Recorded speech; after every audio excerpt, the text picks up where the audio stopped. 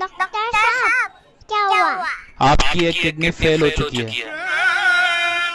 कितने नंबर से?